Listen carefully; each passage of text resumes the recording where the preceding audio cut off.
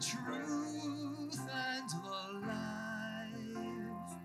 No one comes to the Father except through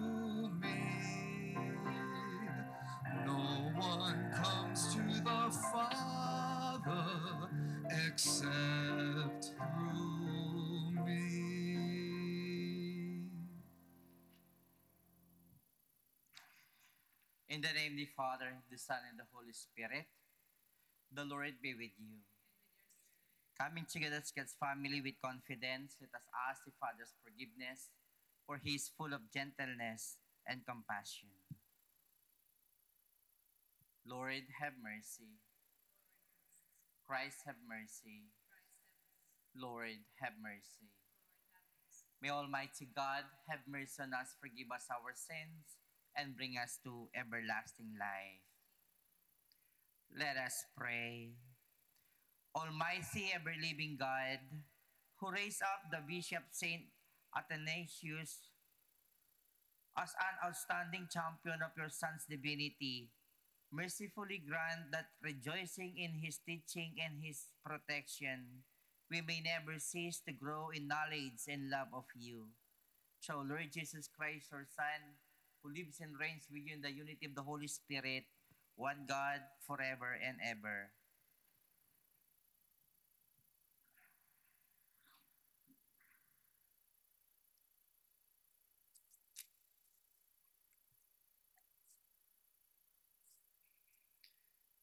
A reading from the Acts of the Apostles. The church throughout all Judea, Galilee, and Samaria was at peace. She was being built up and walked in the fear of the Lord. And with the consolation of the Holy Spirit, she grew in numbers. As Peter was passing through every region, he went down to the holy ones living in Lydda. There he found a man named Aeneas who had been confined to bed for eight years, for he was paralyzed. Peter said to him, Aeneas, Jesus Christ heals you. Get up and make your bed. He got up at once, and all the inhabitants of Lydda and Sharon saw him, and they turned to the Lord. Now in Joppa, there was a disciple named Tabitha, which translated is Dorcas. She was completely occupied with good deeds and almsgiving. Now, during those days, she fell sick and died. So, after washing her, they laid her out in a room upstairs. Since Lydda was near Joppa, the disciples, hearing that Peter was there, sent two men to him with the request Please come to us without delay. So Peter got up and went with them. When he arrived, they took him to the room upstairs, where all the widows came to him weeping and showing him the tunics and cloaks that Dorcas had made while she was with them. Peter sent them all out and knelt down and prayed. Then he turned to her body and said, Tabitha, rise up. She opened her eyes saw Peter, and sat up. He gave her his hand and raised her up. And when he had called the holy ones and the widows, he presented her alive. This became known all over Joppa, and many came to believe in the Lord. The word of the Lord.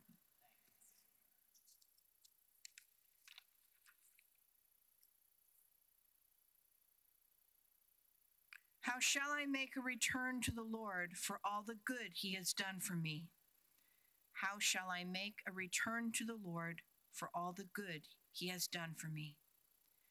How shall I make a return to the Lord for all the good he has done for me? The cup of salvation I will take up, and I will call upon the name of the Lord. How shall I make a return to the Lord for all the good he has done for me? My vows to the Lord I will pay in the presence of all his people. Precious in the eyes of the Lord is the death of his faithful ones. How shall I make a return to the Lord for all the good he has done for me? O Lord, I am your servant. I am your servant, the son of your handmaid. You have loosed my bonds. To you will I offer sacrifice of thanksgiving, and I will call upon the name of the Lord. How shall I make a return to the Lord for all the good he has done for me?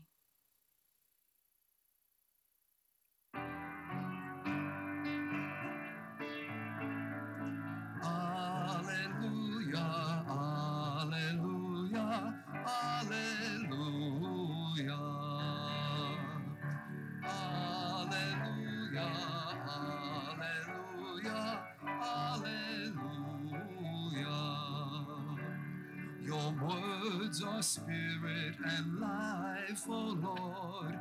You have the words of everlasting life. Alleluia, Alleluia, Alleluia.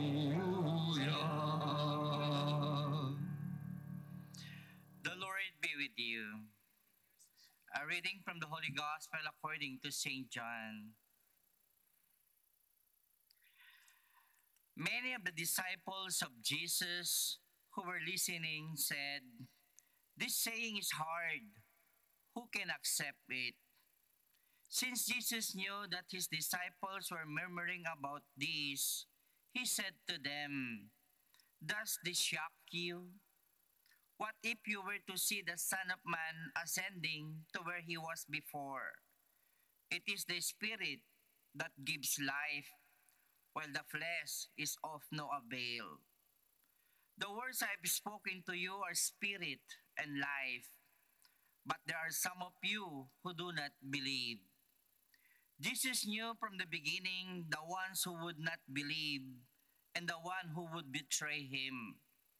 And he said, For this reason, I have told you that no one can come to me unless it is granted him by my Father.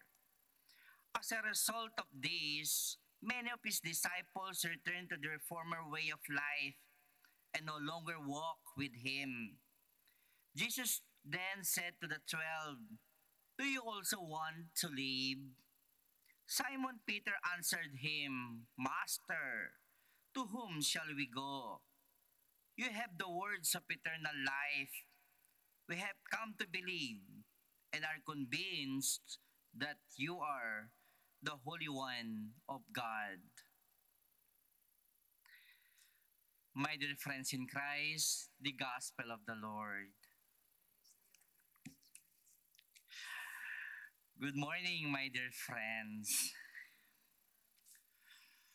When we decide to follow Jesus, is there a limit to it? Should we have conditions to follow Him only in good times? Our, our everyday life is a gift from our Lord that we should be thankful for and we must follow him but comes at times when difficulties arrives that we must not let ourselves to stop following our lord he stays with us even now and knows about the people's distress and affliction because of the recent pandemic. That large crowd of 5,000 people who witnessed Jesus' multiplication of the bread and fish were decreased. Many of those who followed him have returned to their ways of living. Sad to say, they left Jesus. Who stayed with him? Only the 12 apostles. But why did the people leave?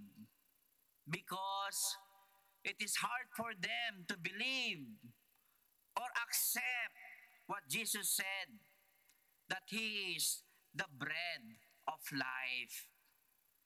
They do not believe Him They were there when Jesus fed them, when Jesus healed the sick, and yet they cannot accept his words. The truth is, many of us act like that. We leave Jesus when we are facing difficulties in life. He gave us many blessings, but we still forget Him or even thank Him for everything that He had given us. We must always believe in Him, no matter how good or bad the situations we will encounter. My dear friends in Christ, what else do we need to convince us that Jesus is our Savior? Do you also want to live Jesus? The answers is in your hands. Amen.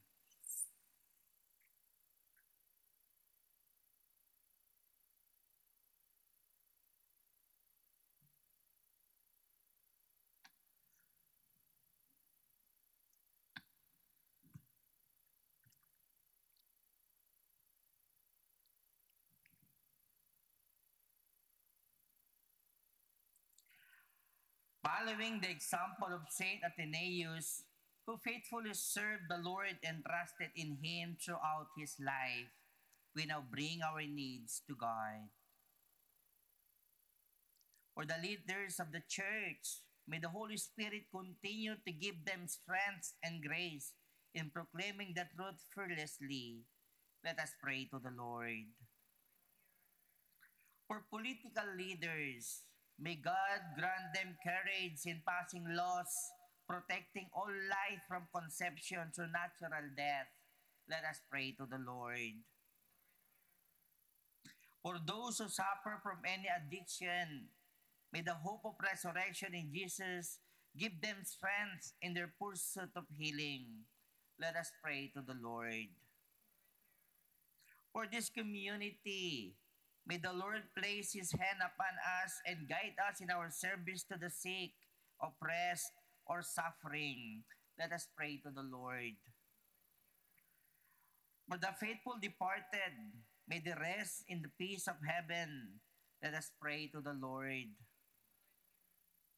We also include in this Holy Mass for the souls of uh, Ariele, Matanane, Nieves Bulor, and all the souls in purgatory. Our frontliners, those who died in this pandemic, those who are in the hospital, our brothers and sisters who are sick, most especially also those who have cancer, those who are dying this very moment. Let us pray for them to the Lord. In the silence of our hearts, let us pray for our personal intention.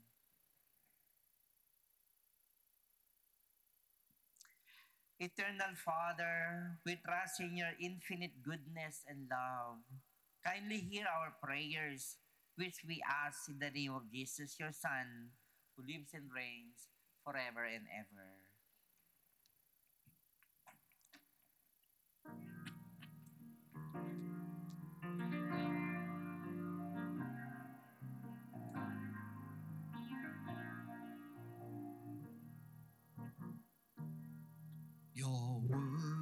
Words are spirit and life, O Lord, richer than gold, stronger than death.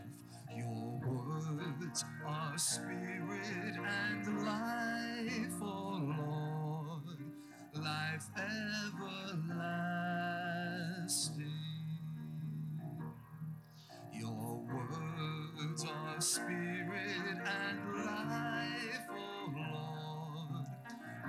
richer than gold, stronger than death. Your words are spirit and life, O oh Lord, life everlasting.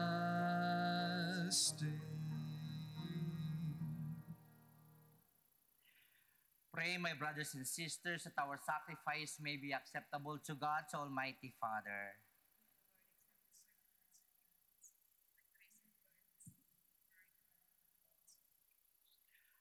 Look, O Lord, upon the offerings we present to you in commemoration of Saint Athanasius, and may witnessing to your truth bring salvation to those who profess, as he did, an unblemished faith. We ask this through Christ our Lord. The Lord be with you. Lift up your hearts. Let us give thanks to the Lord our God.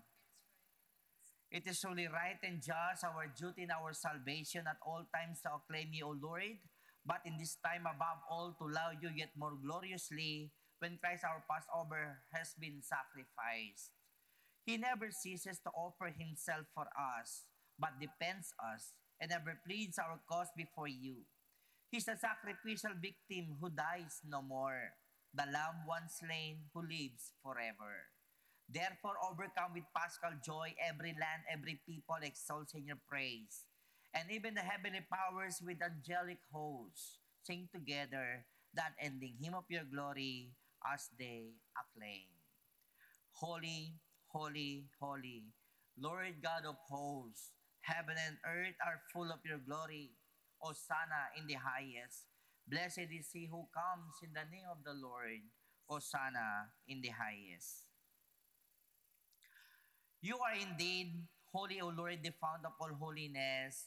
Make holy, therefore, these gifts, we pray, by sending down your Spirit upon them like the dewfall, so that they may become for us the body and blood of our Lord Jesus Christ. At that time, he was betrayed and entered willing to his passion. He took bread and giving thanks, broke it, and gave it to his disciples, saying, Take this, all of you, and eat of it. For this is my body, which will be given up for you.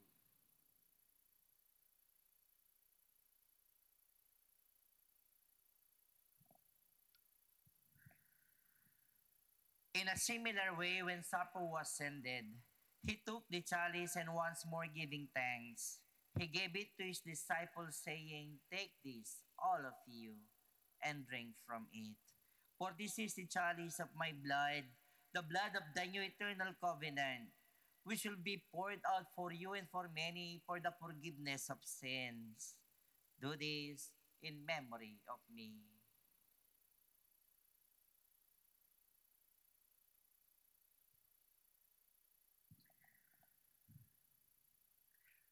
The mystery of faith. When we eat this bread and drink this cup, we proclaim your death, O Lord, until you come again. Therefore, as we celebrate the memorial of his death and resurrection, we offer you, Lord, the bread of life and the chalice of salvation, giving thanks that you have held us worthy to be in your presence and minister to you. Humbly we pray that partaking the body and blood of Christ, we may be gathered into one by the Holy Spirit. Remember, Lord, your church spread throughout the world and bring her to the fullness of charity. Together with Francis, our Pope, Robert, our Bishop, and all the clergy and their parishioners. Remember also our brothers and sisters who have fallen asleep in the hope of the resurrection and all who have died in your mercy. Welcome them into the light of your face. Have mercy on us all.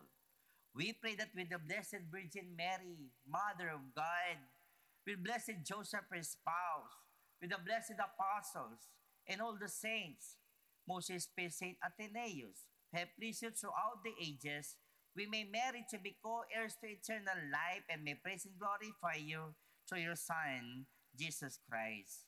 Through him, with him, and in him, O God Almighty Father, in the unity of the Holy Spirit, all glory and honor is yours forever and ever. As one family, with our humble hearts all together, let us pray the Our Father. Our Father, who art in heaven, hallowed be thy name. Thy kingdom come, thy will be done, on earth as it is in heaven. Give us this day our daily bread, and forgive us our trespasses, as we forgive those who trespass against us. And lead us not into temptation, but deliver us from evil. Deliver us, Lord, we pray, from every evil, graciously grant peace in our days, that by the help of your mercy, we may be always free from sin and safe from all distress, as we await the blessed hope in the coming of our Savior, Jesus Christ. For the kingdom, the power, and the glory are yours now and forever. Lord Jesus Christ, said to the apostles, Peace I leave you, my peace I give you. Look not on our sins, but on the faith of your church, and graciously grant her peace and unity in accordance with your will, who live and reign forever and ever. The peace of the Lord be with you always. Agnus Dei, qui tollis peccata mundi, miserere nobis. Agnus Dei, qui tollis peccata mundi, miserere nobis. Agnus Dei, qui tollis peccata mundi, dona nobis pacem. My dear friends in Christ, this is the Lamb of God who takes away the sins of the world. Happy are those who are called to his supper.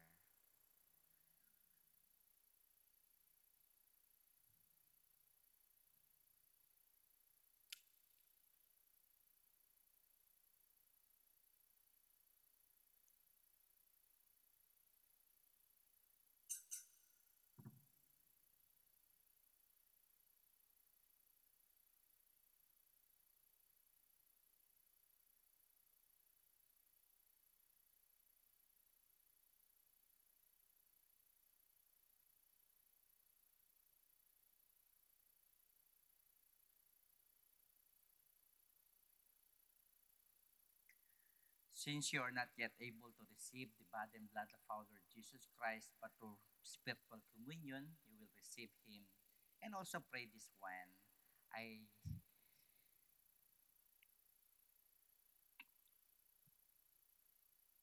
I receive him with my whole heart, with my whole soul, with my whole being. And also say this one through this precious blood of our Lord Jesus Christ, no virus can touch me.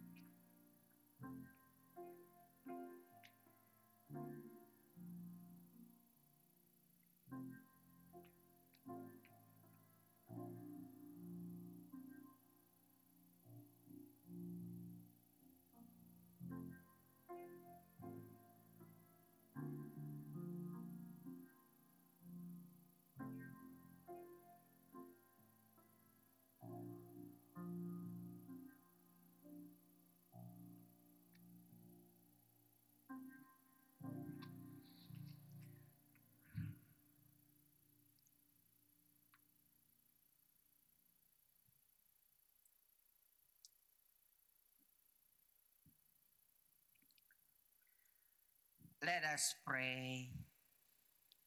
Grant us, we pray, Almighty God, that the true divinity of your only begotten Son, which we firmly profess with Saint Athanasius, may through this sacrament ever give us life and protection. We ask this through Christ our Lord. The Lord be with you. And may Almighty God bless you all, Father, Son, and the Holy Spirit. The Holy Mass ended. Go and let us pray one another.